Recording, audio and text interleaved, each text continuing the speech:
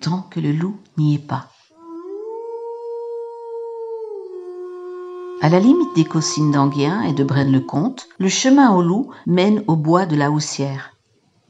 En 1453, ce chemin était la propriété du domaine comtal. Et giboyeux, ce lieu l'était certes. Les loups y pullulaient d'ailleurs.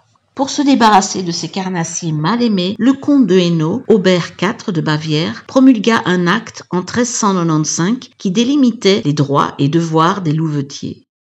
Le grand louvetier était l'officier de la maison du roi qui commandait l'équipage pour la chasse aux loups.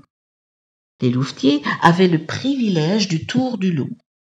Cela signifiait que tout chasseur ayant abattu des loups dans un rayon donné avait le droit d'exiger certains avantages de la part des propriétaires de troupeaux de moutons ainsi que des fermiers.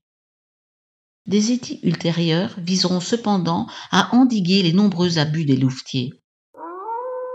Depuis le XIXe siècle, le chemin au loup n'a bien entendu plus de loup que son nom.